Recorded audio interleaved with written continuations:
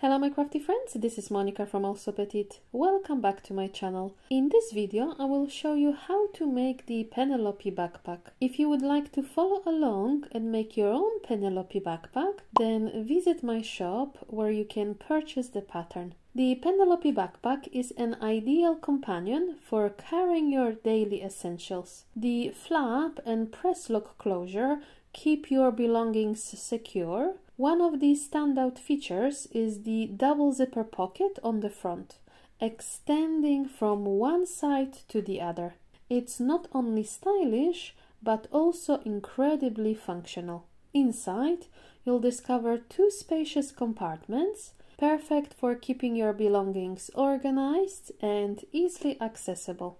There is an additional zipper pocket with a decorative overlay and a divider zipper pocket which provide extra security for your valuables. And let's not forget, with adjustable shoulder straps and a handle, it's a breeze to take your backpack wherever you go. So if you are ready to create your own beautiful version of the Penelope backpack, then keep on watching. To make the Penelope backpack, you will need small piece of non-fraying fabric, such as cork, vinyl or faux leather. You'll need some external fabric and some lining fabric. For my backpack, I'm mixing this beautiful cotton poplin fabric and this black corduroy for the external portion of my backpack. And for the lining, I'm using this waterproof fabric. I highly recommend fusing some woven interfacing to the back of the fabric first, especially if like me you are using very lightweight fabric, such as cotton poplin or maybe quilting cotton. This will give the fabric just a little bit more structure, which is very good.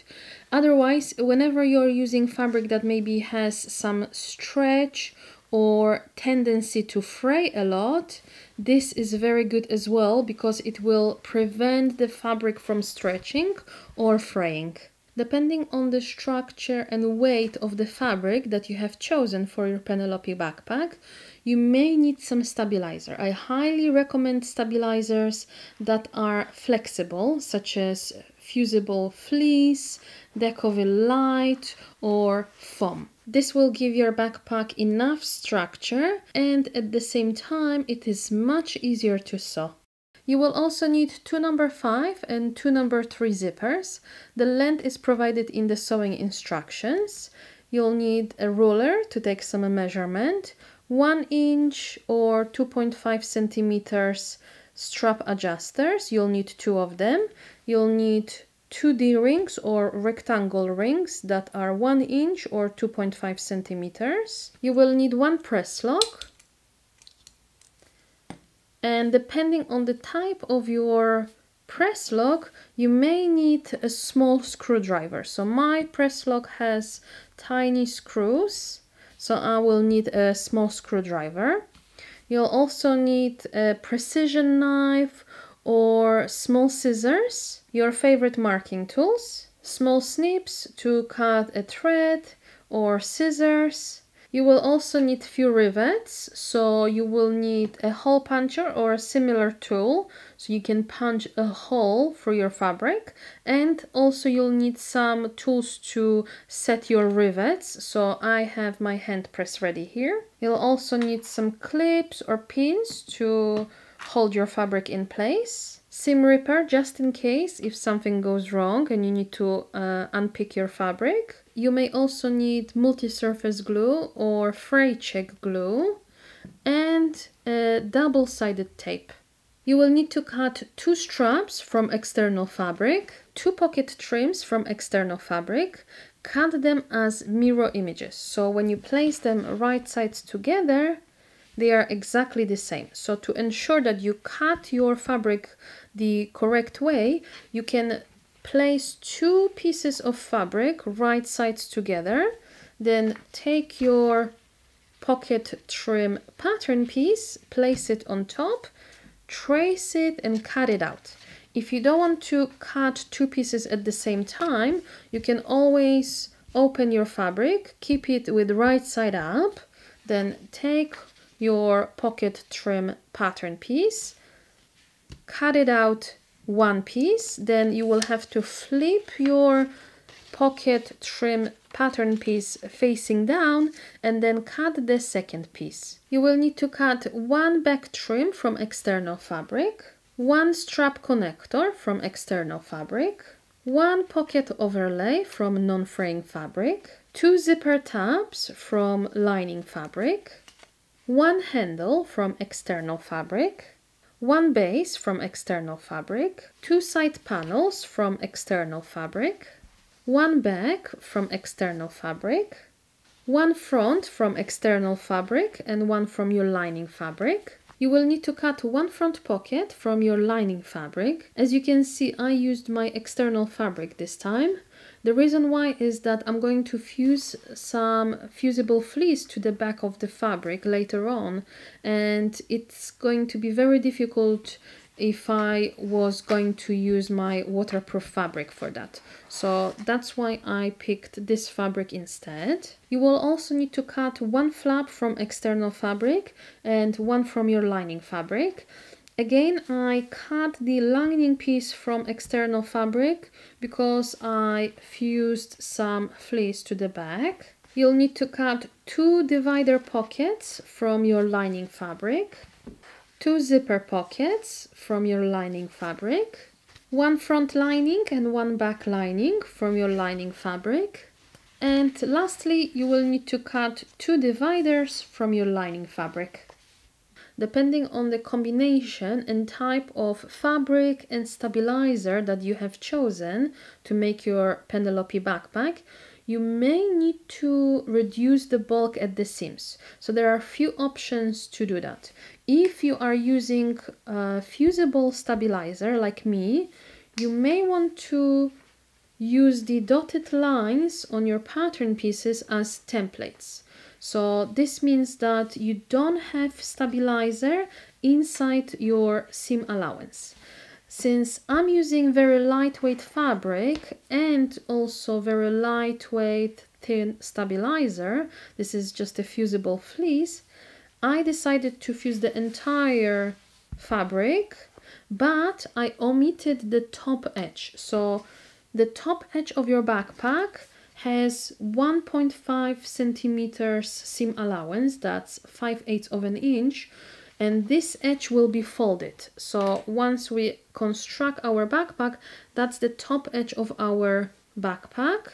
So this is the side panel here. And to reduce the bulk, I omitted the fusible fleece from that seam allowance. You can do exactly the same thing even if you are using sew-in stabilizer. So usually you would use the entire pattern piece to cut the sew-in stabilizer and then baste it around all sides to your fabric. But to reduce the bulk at the top edge of your backpack, again, you can fold the seam allowance away cut your stabilizer then you would place it on top. So normally I would measure 1.5 centimeters 5 eighths of an inch and draw a line. So I know I have a nice sharp edge. Then you would place your sew-in stabilizer on top and only baste around those outer edges. So you would leave the top edge unbasted. If you want you can use some glue or double-sided tape to hold that top edge in place. Take your pocket overlay and on the wrong side of the fabric apply some double-sided tape. Then you can peel off the plastic cover. Take your back lining piece and measure 4 centimeters from the top edge. So I'm going to just take my ruler, place it on top. So this is the right side of the fabric. I have marked the midpoint as well on the lining and I have midpoint on my pocket overlay. So I'm going to make sure that I have the 4 centimeter lined up then you're going to place the pocket overlay on top. So right sides are facing up. Make sure you have your midpoints aligned. Line up the edges. So I'm placing the top edge of my pocket overlay. At the edge of my ruler. Press it with the fingers line up the bottom edge of the pocket overlay. Now you can take this to the machine and top stitch around the outer edge, so about 2 millimeters from the edge. What I like to do is to, instead of back stitching at the start and the end, I typically leave long thread tails, so then later I can tie a knot on the back of the fabric. So I'm going to do that.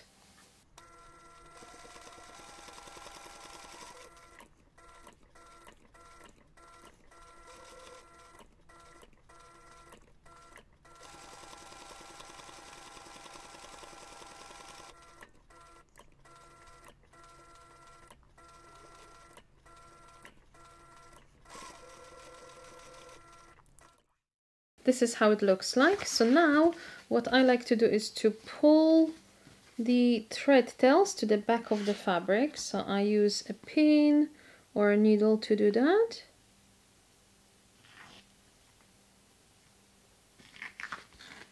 Here we go. Then I can tie a knot to secure them in place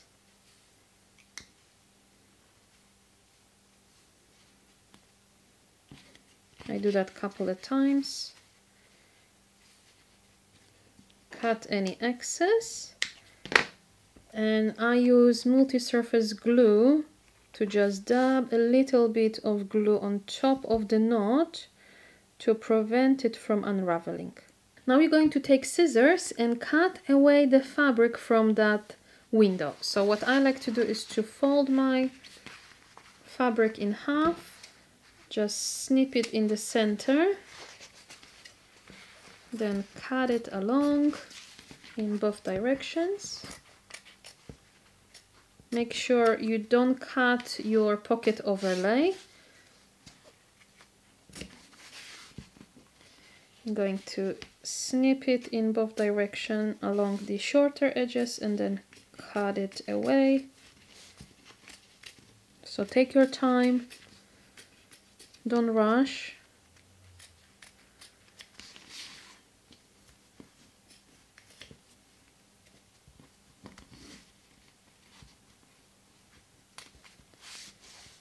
And cut enough fabric so it's not showing inside that window.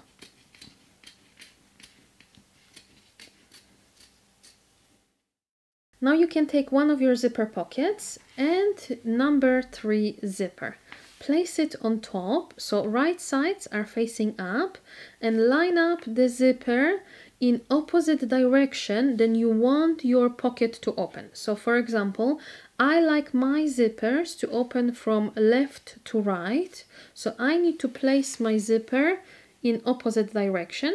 So now the zipper opens from right to left. So line it up along the top you can clip that in place then you can take this to the machine and base the zipper to your pocket along the top edge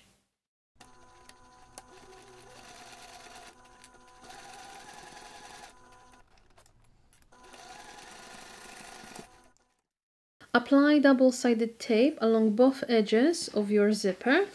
Then you're going to take your back lining piece, peel off the plastic cover from your double-sided tape. And place the pocket and the zipper inside that window. So what you need to do is to flip the zipper pocket upside down and then center the zipper inside that window so I like to do one edge at the time so you're going to center the zipper inside press it with your fingers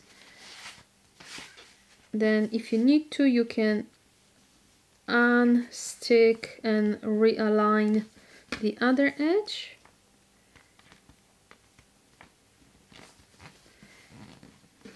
Here we go.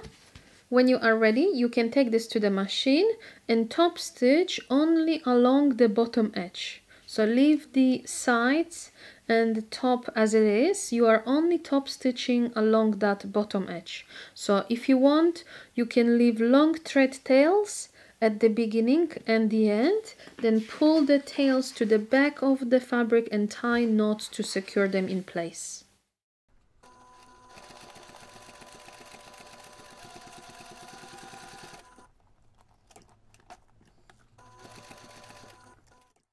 Once you've got that stitched, you can take this to the pressing station, place the pocket down and press the seam nice and flat.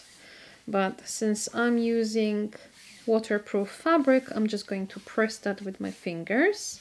Then you're going to take the second zipper pocket and apply double-sided tape along the top edge. So on the right side of the fabric, you're going to apply some double-sided tape just like that. Press it with your fingers. Then you can peel off the plastic cover and place your zipper pocket on top. So you want to line up the top edge along the zipper. Line up your side edges. Don't worry about the bottom edge the bottom edge will be too long but we're going to trim that down in a second. So you want to make sure everything is nice and straight. Here we go just like that. If you want you can use a couple of clips just to hold those two pocket pieces in place. Just like that Then you can take scissors and trim the edges to the same length.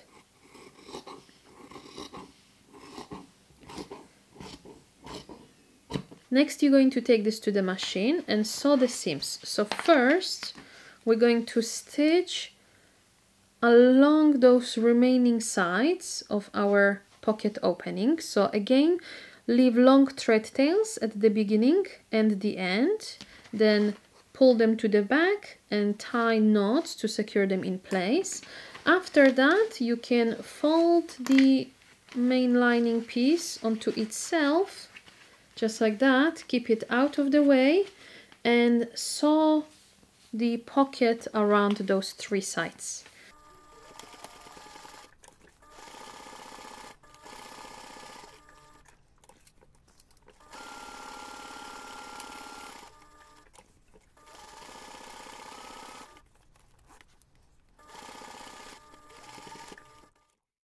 Our zipper pocket is now finished. So what I like to do next is to measure 3 centimeters from the top edge and mark a line on the wrong side of the fabric. So I'm going to do that now. Here we go. You can do that on the front lining as well. This line is a guideline. Later, we're going to fold the top edge by 1.5 centimeters 5 eighths of an inch and press that edge flat. Since I'm using waterproof fabric, I cannot really press my fabric. So instead, I'm going to apply some double-sided tape just along the top edge. I try to keep the double-sided tape away from the seam allowance so I'm going to just apply it along the top edge like this and do that on the other piece as well. Next you're going to take your zipper tabs and we're going to wrap them around each end of our remaining number 3 zipper. So to do that you can mark a line in the center on the wrong side of the fabric, then fold, those two edges towards that line, press it flat, fold it one more time and press it flat. Then you're going to take your zipper and insert the zipper into that zipper tab. So you're basically wrapping your zipper tab around the edge of the zipper, just like that. Use clips or pins to hold that in place. Then we're going to take this to the machine and we're going to stitch along those two folded edges. So you want to make sure that the finished length of your zipper is 17 centimeters. So in case if your zipper is slightly longer, make sure that the total length of your zipper is 17 centimeters.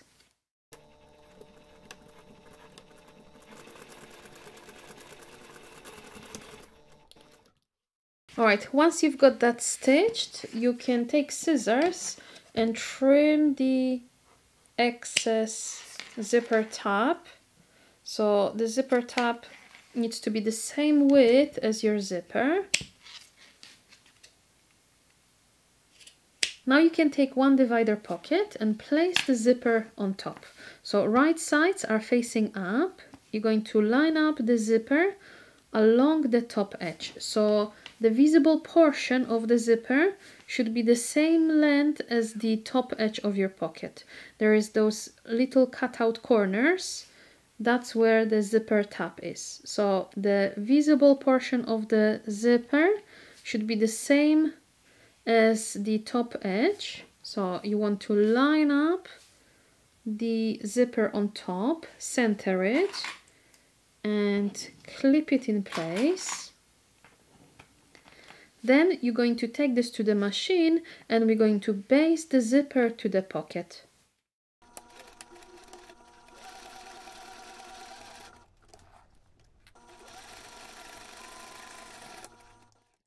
Now you're going to take one of your divider pieces and again if you want measure 3 centimeters from the top edge and draw a line on the wrong side of the fabric.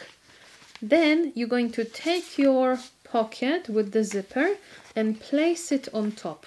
So right sides of the fabric are facing each other. You're going to line up the zipper along that top edge. So make sure you center it. Then clip everything together.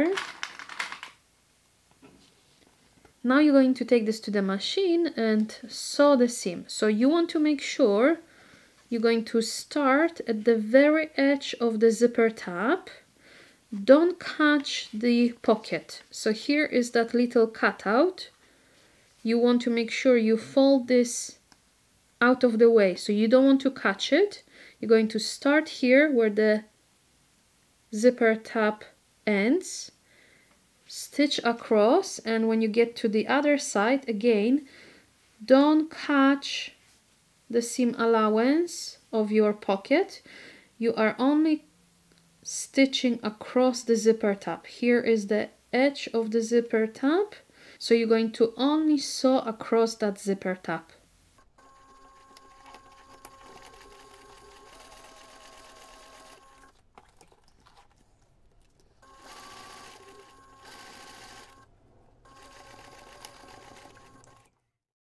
Once you've got that seam stitched, then you're going to flip the pocket out of the way, bring the seam allowance towards the divider. So you're going to flip the seam allowance down towards the bottom. If you want, you can take this to the pressing station, press that nice and flat. Otherwise, take this to the machine and top stitch across the zipper. So again, you're going to start where the zipper tab ends. You're going to sew across and stop at the other end of your zipper.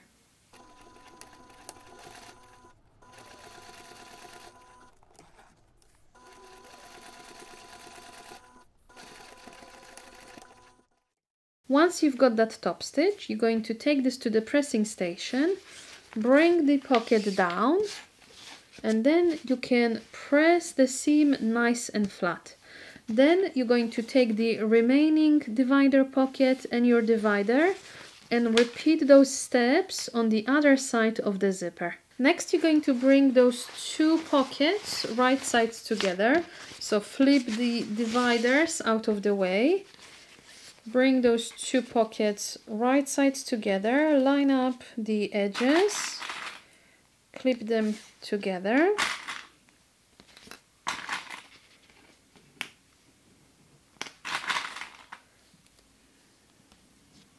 When you are ready, you can take this to the machine and sew along those three edges. So you want to get as close as possible to the zipper. So what I like to do is to start from the bottom and stitch the sides going towards the zipper and then stitch the bottom edge separately.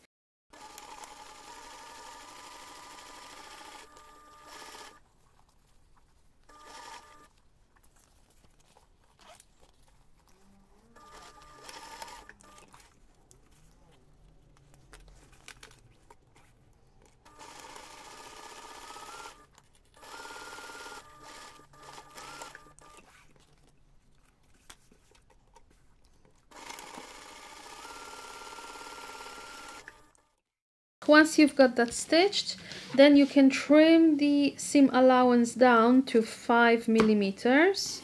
So that's about quarter of an inch.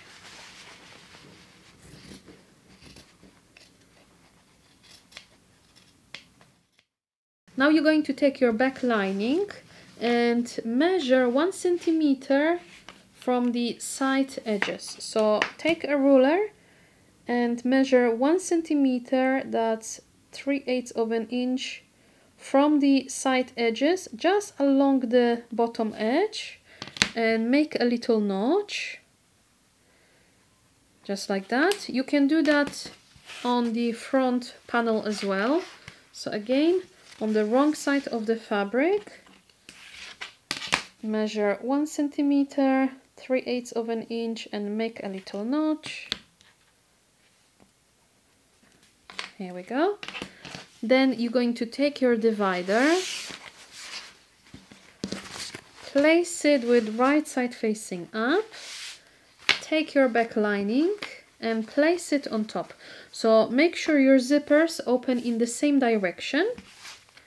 Then you're going to line up the bottom edges. So you should have midpoints marked both on your back lining piece and your divider so you can match them up line up the edges and then clip everything together.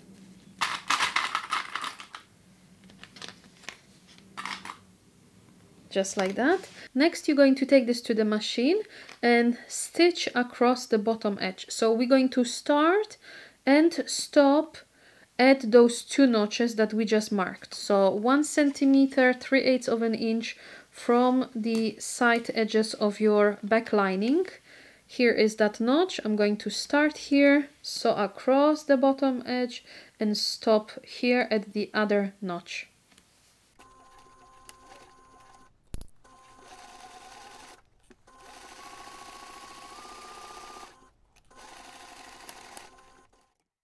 Once you've got that seam stitched, you're going to take scissors and we're going to snip the seam allowance on our divider going towards the stitching. So here is the beginning of the stitching and I'm going to cut the fabric just the seam allowance of the divider piece from the bottom edge going towards the beginning of that stitching. So you need to stop about two millimeters two three millimeters that's like an eighth of an inch before you get to your stitching. So I'm going to stop like somewhere here. So I'm going to take my scissors now. I'm flipping this out of the way. So I'm only snipping through the divider. And you're going to just cut the fabric going towards that stitching just like that so I stopped about 2-3 millimeters before I got to the stitching. And you're going to do that on both sides. Now we're going to line up the side edges. So to do that, where you just snip the fabric, where the curved corner is, you're going to maneuver the fabric and bring it so it is aligned along the edge of your back lining. So that's why we snip the fabric so it is easier to just turn the fabric like this, line up those edges and clip them together. And then you'll be able to line up those two edges together. So I like to start at the top. So I have my top edges aligned and then line up the sides and clip everything together.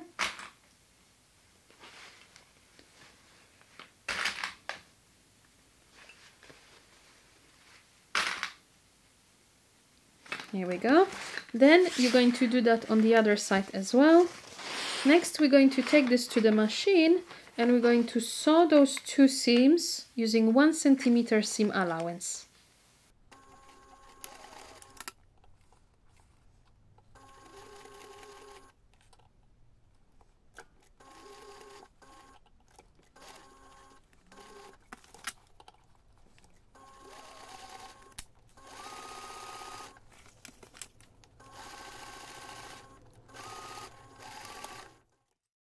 After you have stitched those two side seams, if you want, you can trim the seam allowance slightly, especially around those curved corners. Then you're going to take this to the pressing station, open the seam allowance and press it flat, just like that. You're going to do that on both sides. Then you're going to fold the top edge by 1.5 centimeters. If like me you used double-sided tape. Now you can remove the plastic cover from the tape. Make sure your seam is open on the sides and then bring it down. So you are folding the fabric wrong sides together by one and a half centimeters or five eighths of an inch and you're going to do that on the divider as well. So I have a small piece of double-sided tape here. I'm going to remove the plastic cover and again fold the edge.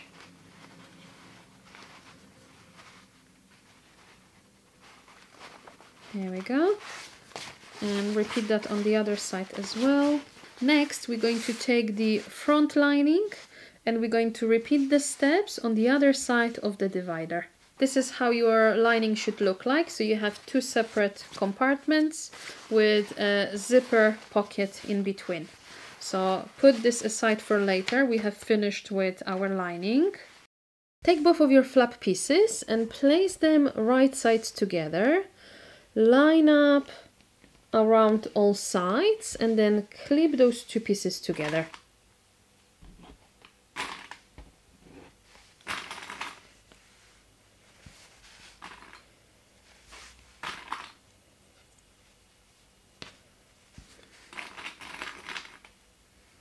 Here we go. Then you can take this to the machine and sew the seam around the curve. Leave the top edge as it is. We're going to use the top edge later on to turn the flap right side out.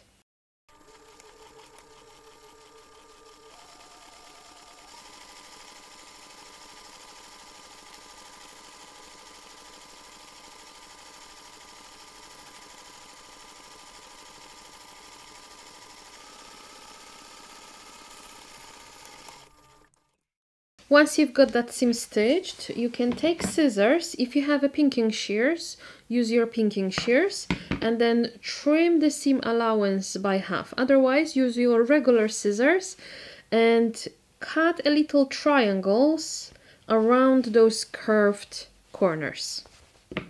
But since I have pinking shears, I'm just going to use them.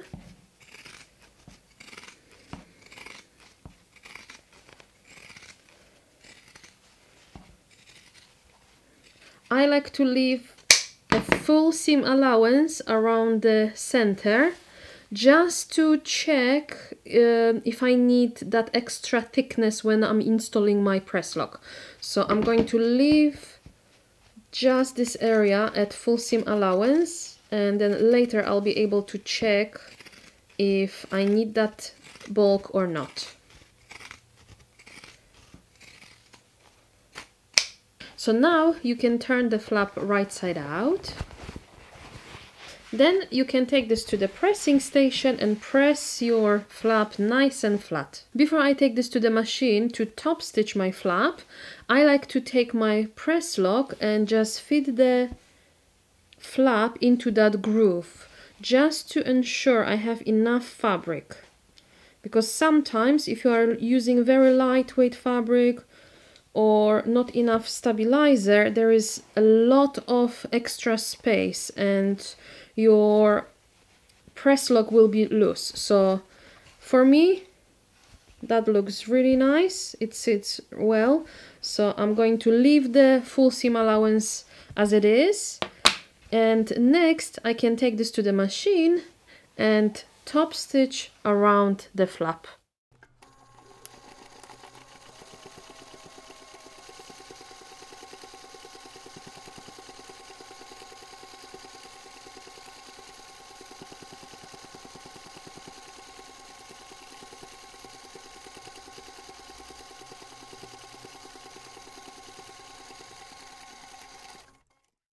Now we're going to install our press lock. So this is the right side of my flap and this is the right side of the press lock. So what you want to do is to feed the bottom edge of your flap into the groove, that space of your press lock. So what you need to do is to basically feed it inside, just like this. Make sure it is nice and centered. I have my center line here so I can make sure that my press lock is centered.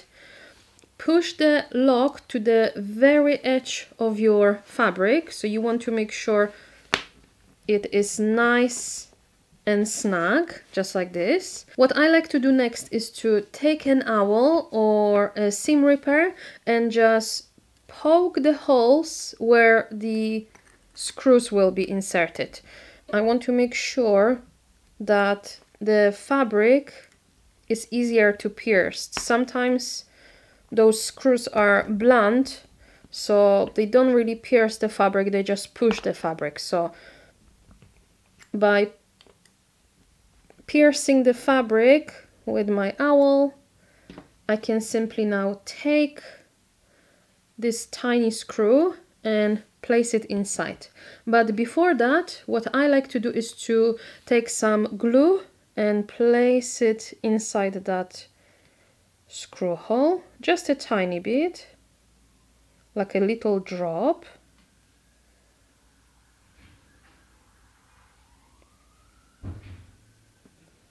Here we go.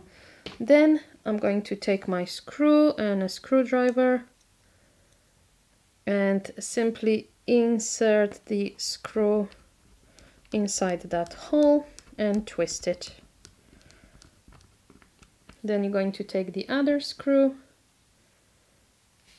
and repeat on the other side.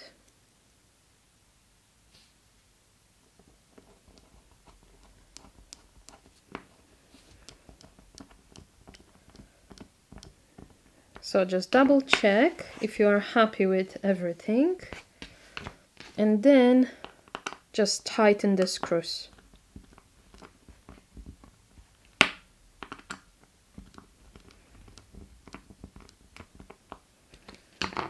Here we go, just like that. To install the back plate of your press lock, first mark the placement of the press lock on the wrong side of the fabric then what you want to do is to take the back plate and line up the top edge of the catch bar. So this part here is the catch bar and you want to line up that top edge along the horizontal line of that T marking. So what you want to do is to line up those two pieces just like that. So the top edge of your catch bar and the horizontal line need to be aligned. So what I like to do is to take my washer and place it over the bar so then I don't have to worry about trying to remember or trying to figure out which holes I need to mark. So I'll place the washer on top. Then you want to line up the top edge of the catch bar along that horizontal line so now I know exactly where I need to position my washer. So then I can just slide it and put it in the center just like that. And now I can take a pen and mark the position of my prongs just like that. Then you can take a precision knife small scissors or seam ripper and cut the fabric through those placements. Make sure to be very careful. You don't want to cut the fabric too much. It's always best to cut those little slits slightly smaller. So what I do is to just double check if they are big enough all looks good. So next if you want you can add some fray check glue along those slits if you worry about your fabric fraying. But since I stabilized my fabric I don't really have to worry about it. So now you're going to take your back bar and from the right side of the fabric insert the prongs through those slits just like that then take your washer and place it on top so this might be easier if you do it on the edge of the table because the catch bar is a little bit annoying at this point. I'm going to try to use my little cutting board as a leverage and then bend the prongs in opposite directions. So just take your time. If you want, you can use pliers to do that. I like to glue a small piece of fusible fleece or add a tape to protect the lining from being damaged because once I construct my project I'm going to have a lining here and those edges can be sometimes very sharp so to prevent the fabric from being damaged it's always good to cover that area. So I'm just going to use some tape. I'm going to cut it and glue it on top. Just like that. Take both of your number 5 zippers and fold the top edge by 90 degrees. So to do that, you're going to open the zipper, fold the top edge onto itself like this, then bring that folded edge, so pinch it, and bring that folded edge towards the zipper coil. So you want to line up that folded edge along the zipper coil and pin that in place just like that. Then you're going to do that on the other side. So again you're going to fold it onto itself pinch it and then bring that fold towards the coil you want to make sure that your zipper is the same length so if you need to adjust it do that pin that in place here we go. Then we can take this to the machine and we're going to baste along the edge of our zipper just to hold everything in place.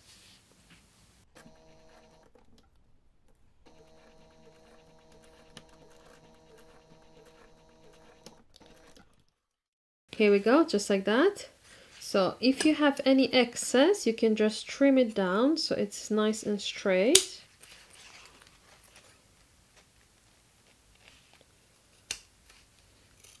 To prevent the zipper tape from fraying, take lighter and just burn the edges quickly. You should have two notches marked on the right side of the fabric. These are the zipper notches. So now you can take your zipper and place it on top of your front piece, right side facing each other. You want to line up that top edge add the notch and line up the side of your zipper along the side edge of your fabric and clip everything together.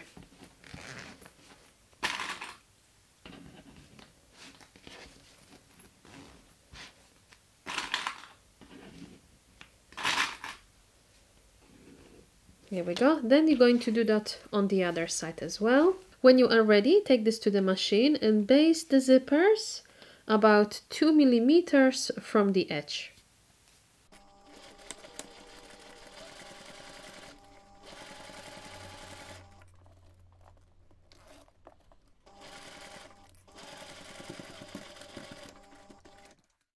Now you can take your front lining piece and place it on top. So right sides are facing each other. You're going to place it on top, line it up along all sides and then clip everything together. Next you can take this to the machine and sew both side seams.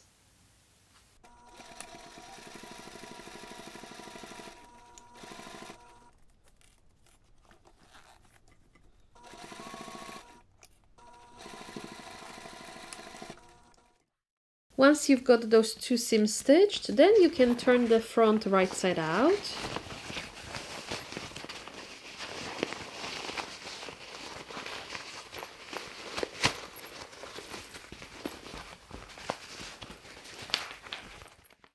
Next you can take this to the pressing station and press your seams nice and flat.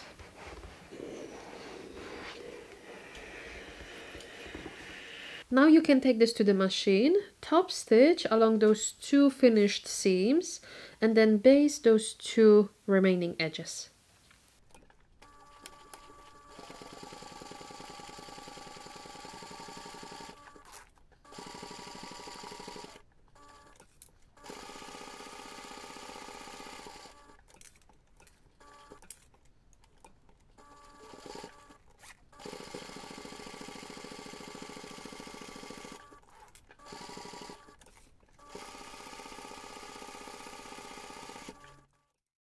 Can take your front pocket and your pocket trims. We're going to line up those two trims along the side edges, just like that. To ensure that you line up those pieces correctly, you can place them next to each other with right side facing up. And if the bottom and top edge are straight, it means that you placed your pattern pieces correctly.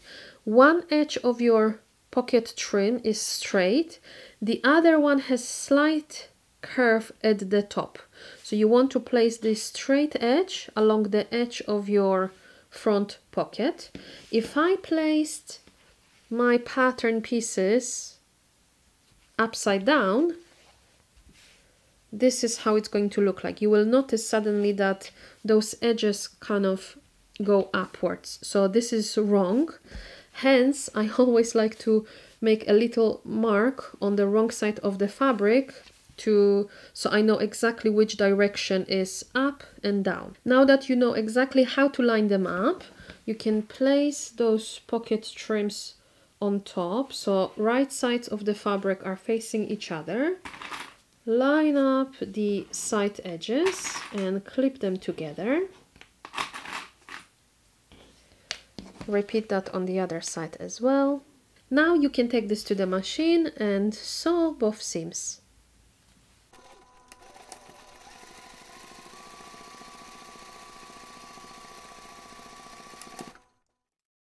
Once you've got those two seams stitched, you can open the panels and press the seam nice and flat. So if you want, you can press the seam allowance towards the center.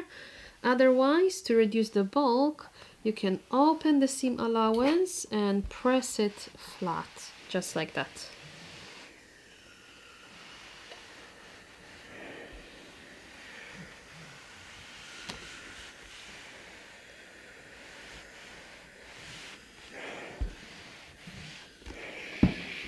Here we go. Then you can take this to the machine and top stitch along both sides of the seam.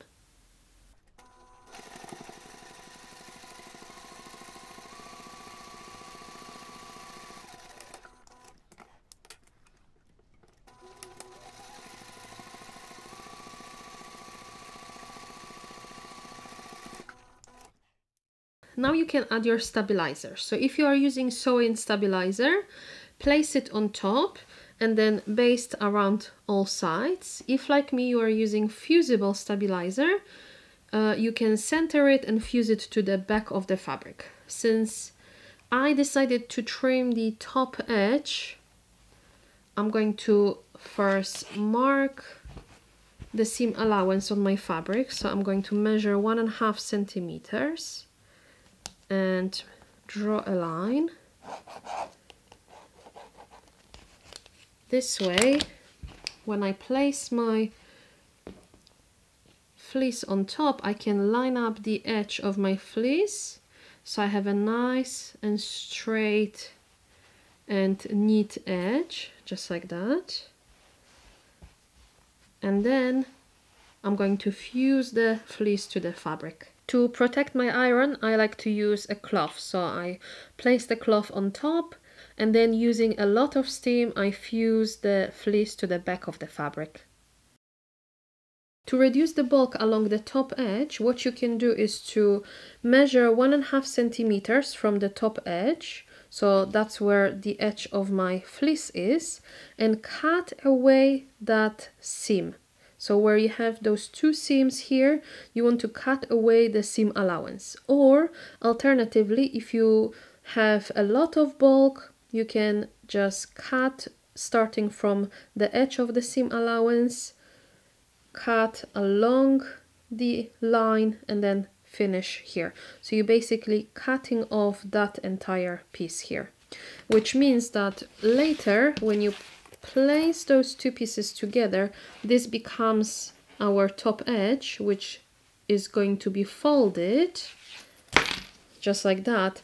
And then you're going to have a lining as well. There is a lot of bulk. So by cutting away that part, you're eliminating at least one layer of the fabric. So I'm going to just cut the entire thing. So I'm going to follow the edge of my fleece. That's the one and a half centimeters or five eighths of an inch mark. And just cut away that part. Here we go. Now you can take your front panel place it on top so right sides are facing up you're going to line it up along all sides and pin or clip everything together. Now you can take this to the machine and baste those two pieces together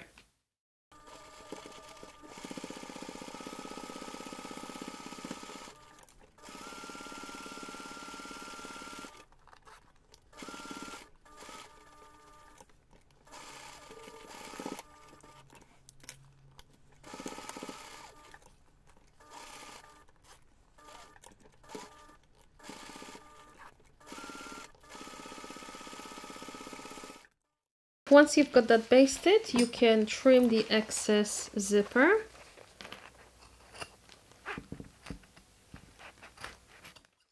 If you want, you can draw a line along the top edge in the same way we've done for the lining. So measure 3 centimeters from the top edge and then draw a line, which will be the guideline for you.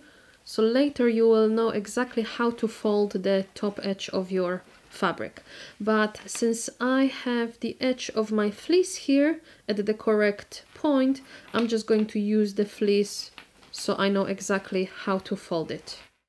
Take your handle and on the wrong side of the fabric mark a line in the center. Then you can take this to the pressing station and fold those two longer edges towards that line in the center. So with wrong sides together, you're going to fold the fabric just like this. This edge needs to be lined up with the line and then you can press it flat.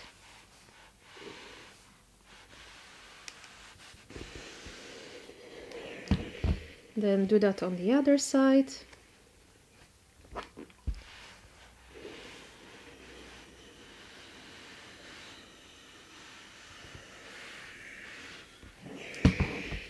Then you can fold the handle one more time and closing those seam allowance.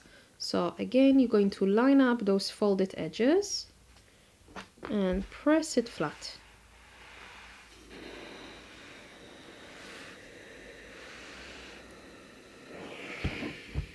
Here we go. When you are ready, you can take this to the machine and top stitch along those two longer edges.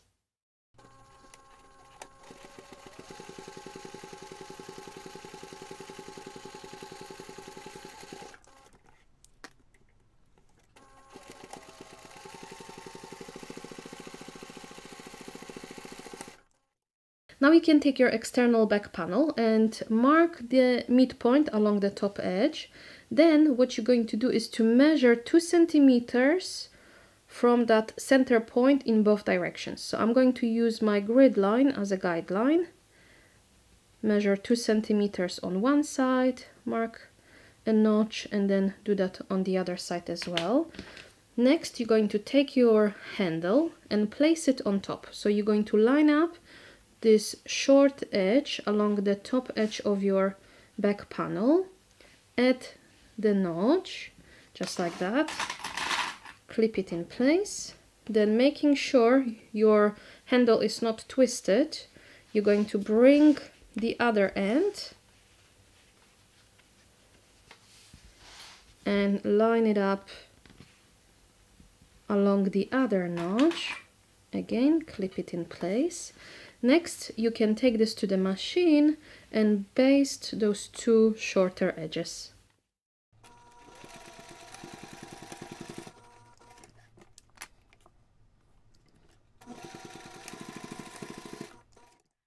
Now you can fold your straps in the same way you've done the handle.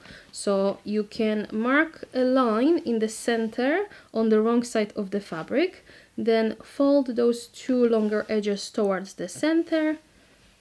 Fold your strap in half and press everything nice and flat. So once you have your strap pressed it should look like this. So next you're going to unfold it on one side. So keep those two shorter edges folded. Then you're going to bring them right sides together. So we have those two folded edges you're going to fold your strap in half with right sides together and just pin or clip that short end. You are only doing it on one side of your strap. The other end, just leave it as it is. So now we can take this to the machine and sew across that short edge.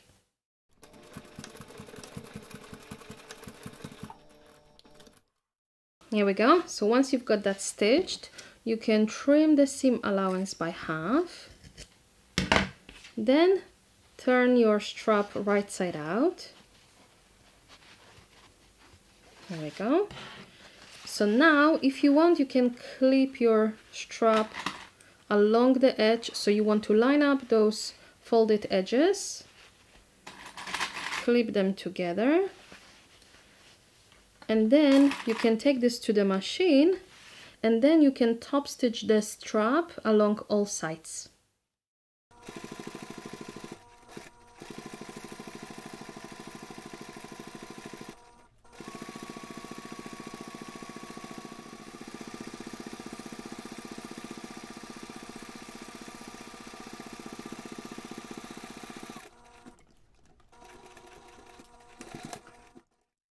After you made both of your straps, you can take your strap adjuster and feed the finish end of your strap around the middle bar. So this is how it should look like. So here I have that finish edge. I'm going to take my strap adjuster, feed it through, go around the middle bar and bring it back, just like that. So you basically wrapping the strap around that middle bar. You can fold the edge by about four or five centimeters. So I'm going to use my grid line to just measure it and hold it with a clip. Here we go. Then when you are ready, you can take this to the machine, stitch a little box to anchor that end. And if you want, you can stitch couple of lines in the center or install a rivet.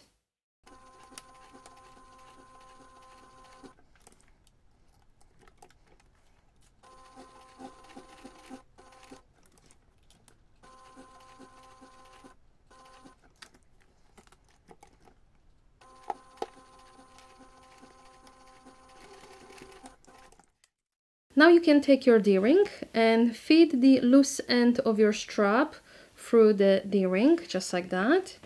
Bring it towards the other end. And then, making sure your strap is not twisted, you're going to feed the end of your strap through the strap adjuster one more time. So we're going to do that in opposite direction. The first time we did it this way, now we're going to do it in opposite direction. So again, you're going to feed it through the strap above the middle bar, then bring it back below the middle bar, just like this, and pull it through.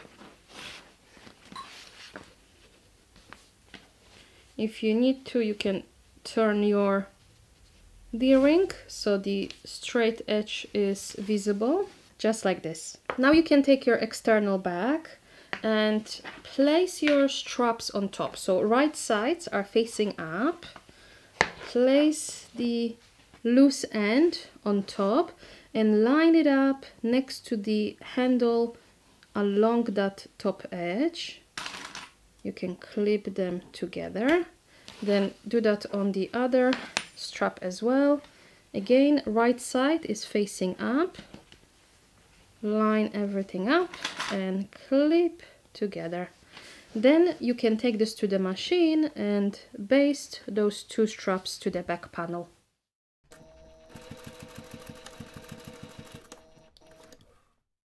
Now you can take your flap and place it on top. So the lining portion of your flap is facing up.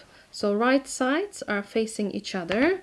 You're going to line up the flap along the top edge. So make sure you have midpoints so you can match them and clip everything together. Here we go. Then you can take this to the machine and baste the flap along the top edge.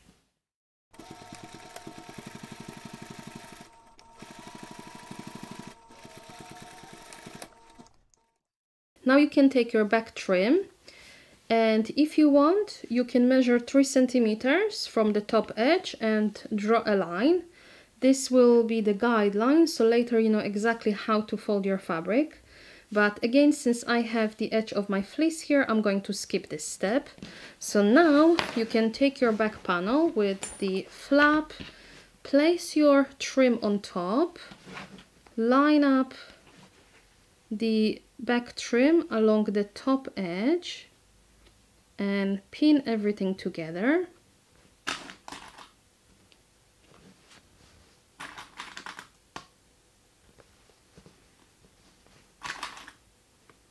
Here we go. Then you can take this to the machine and sew the seam.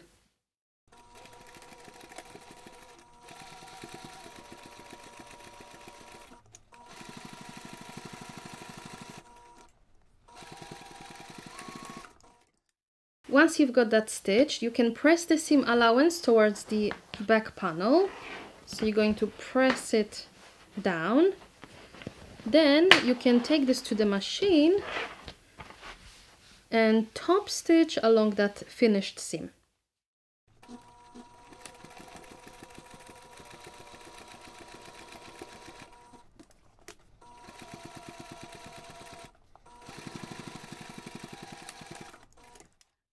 If you are using sew-in stabilizer, now is the time to add it to the back of your panel. So place it on the wrong side of the fabric and baste around all sides unless you have trimmed the top edge then like we did on the front don't baste the top edge and only baste around those three sides if you want you can also install a couple of rivets just below the seam line to anchor the straps and handle so I typically add one here one here one here and one here now you can take your strap connector and fold those two longer edges towards the middle. So again, if you want, you can just draw a line in the center, fold those edges towards the middle and press it with an iron. Then you can take this to the machine and top stitch along those two folded edges.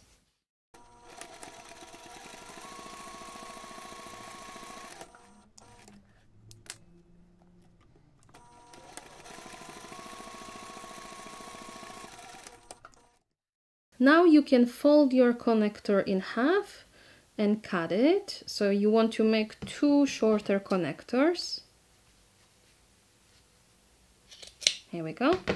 Now you can take your back panel with your straps and wrap your connectors around the D-rings. So you want to fit it through the D-ring and wrap it around just like that.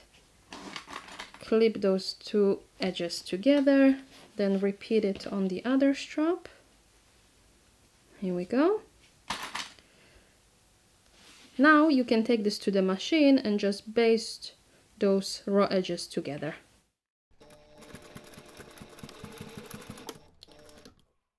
Now you can measure two and a half centimeters or one inch from the side edge of your back panel and mark a little notch along the bottom edge and do that on both sides just like that then you're going to take your straps.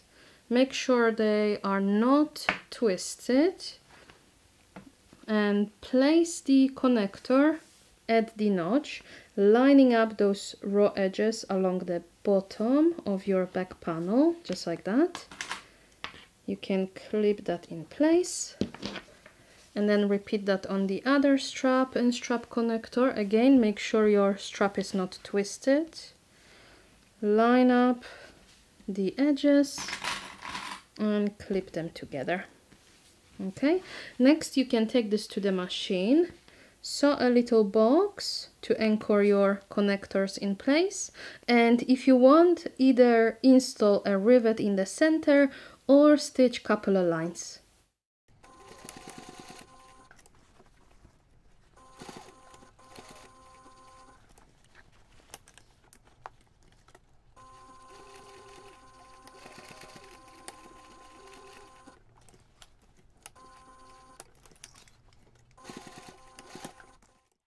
Now you can take your base and with right sides together place it on top of the front panel. Line it up along the bottom edge and clip everything together. Here we go. Then you can take this to the machine and sew the seam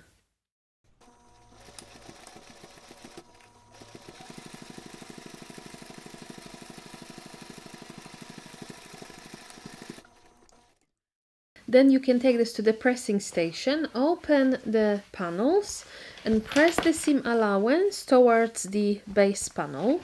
So you're going to press it like this. Then you can take this to the machine and top stitch along that finished seam.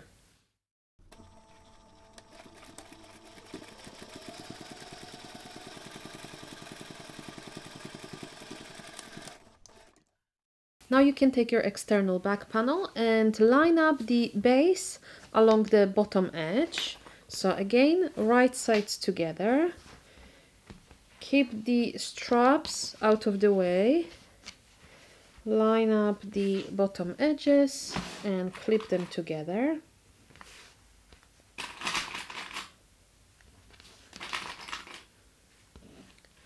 Here we go. Next, you can take this to the machine and sew the seam. Again, you can take this to the pressing station, press the seam allowance towards the base, and then take this to the machine and top stitch along that finished seam. Now you can take one of your side panels and what we're going to do next is align the side edges of our main backpack around the curve of the side panel. So to start you can place your side panel on top of the base. You should have midpoints marked along the bottom edge and also the side edge of your base panel. So line them up. Clip those two pieces together. And then you can line up the side edges along the side panel. So you're going to have to maneuver the fabric, maneuver your external pieces so you can line up the edges and then clip everything together.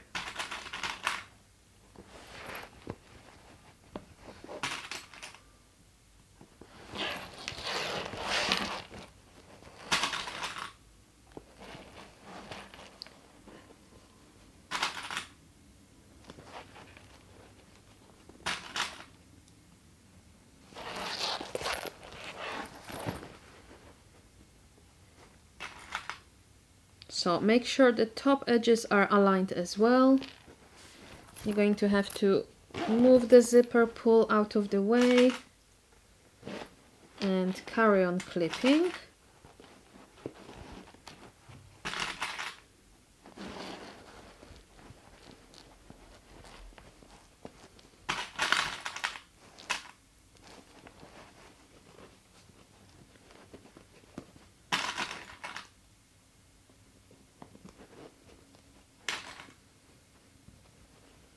Here we go. So it should look like this. This is your side panel. So now you can take this to the machine and sew the seam.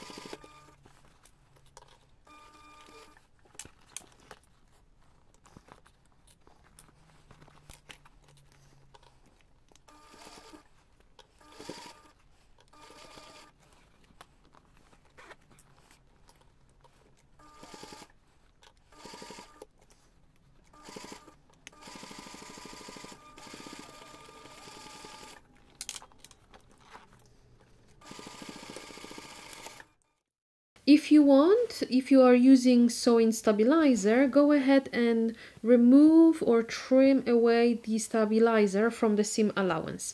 This will significantly reduce the bulk, especially around those curved corners. Now you're going to repeat the steps and sew the other side panel on the other side. So I have my side panel here. Again, Make sure you have midpoints marked on the bottom of your panel and the base. Match them up with right sides together and then pin or clip the side panel to your external backpack.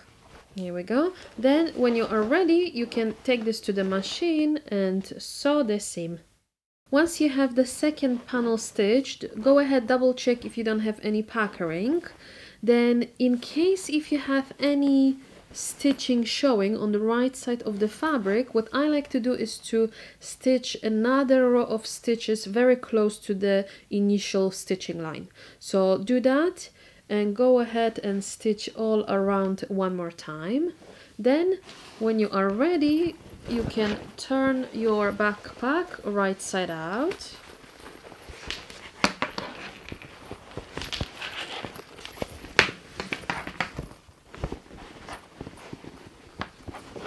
Push the seams so you have nice, neat corners. You should have a nice round corners around the bottom.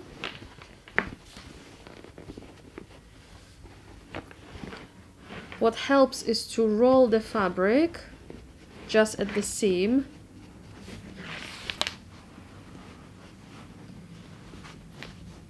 Here we go. Okay, so next what you can do is to fold the top edge of your backpack by one and a half centimeters. So wrong sides together, you're going to fold that top edge by one and a half centimeters. So that's 5 eighths of an inch. If you want apply some double-sided tape along the top edge and then fold your fabric. Otherwise you can take this to the pressing station and press that fold nice and flat. After you folded the top edge you can take your lining and drop it inside your backpack so make sure the zipper pocket with the overlay is on the back of your backpack. So your lining and your external parts should be wrong sides together. Then you're going to line up the side seams. So here is the side seam on the external backpack. And here I have the seam on my lining. So match them up and clip them together.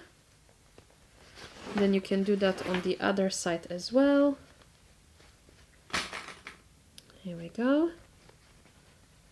Alright, go ahead and clip the entire front panel.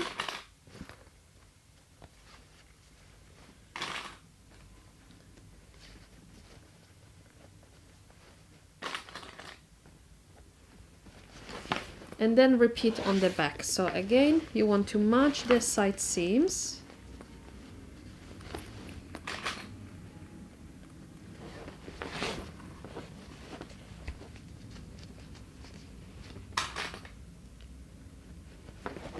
And clip the top edge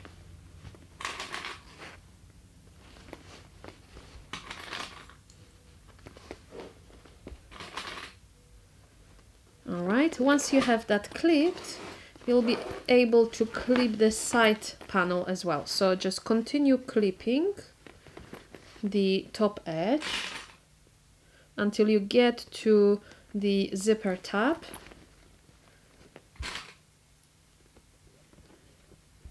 Here we go, just like that. Then do that on the other side panel as well.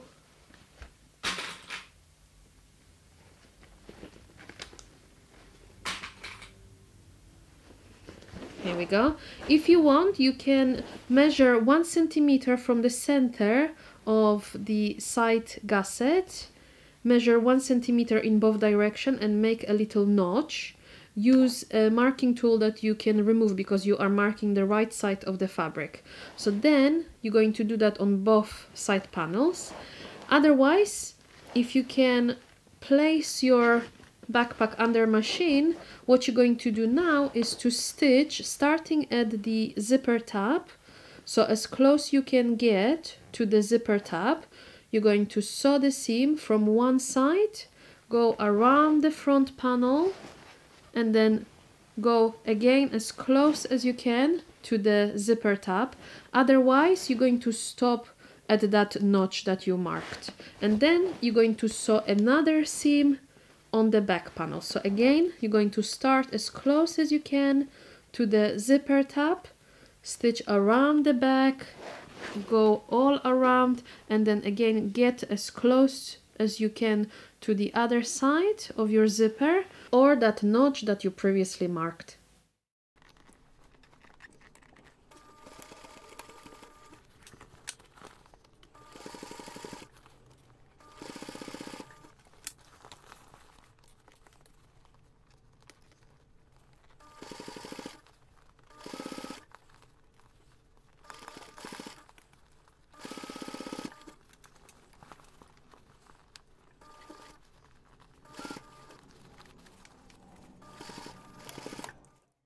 After you have stitched those two seams, then you can install a rivet on each side. So I have one already installed, as you can see. So I'm going to show you what to do. So from the edge of your zipper tab, you're going to measure one centimeter. So I have a ruler here. I'm going to measure one centimeter and make a little notch on the fabric. Here we go. So next, what I like to do is to take a hole puncher and punch a hole. So depending on the size of your rivet, you may want to punch a hole slightly higher or slightly lower. It is really up to you. I'm just going to eyeball it. Just like that. Then instead of measuring one centimeter on the other side, what I prefer to do is to fold my side panels, line up the top edge, and then use that hole that I just punched to mark the placement of the hole on the other side. So I'm going to use slightly different pen because I cannot really see it on that black fabric. So I'm going to do that one more time. So what you want to do is basically line up the top edges and use that hole to mark the fabric. So here I have the mark. So now I want to make sure that my lining is nice and smooth. I can take my hole puncher and punch another hole. There we go. So next I'm going to take my rivet and then I can insert it through those two holes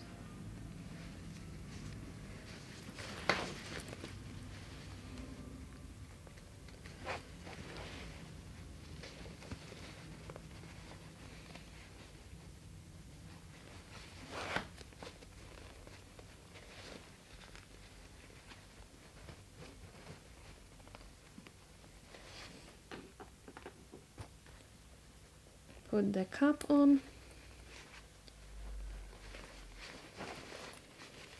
There we go. Then take your hand press or your other tools and install your rivet. Give your backpack a final press Otherwise, your Penelope backpack is now finished. Well done!